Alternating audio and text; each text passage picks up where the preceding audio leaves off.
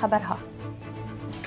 موضوع خو ما از تا مسیج باورده افشای اختلافات طالبان هنگام تشکیل کابینه. یک مقام طالبان می‌گوید کابینه فیلی توسط پنجابی ها ساخته شده است.